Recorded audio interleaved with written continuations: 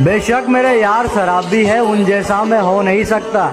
मेरे माँ बाप का सर झुक जाए, बेटे, ऐसे शौक मैं नहीं रखता।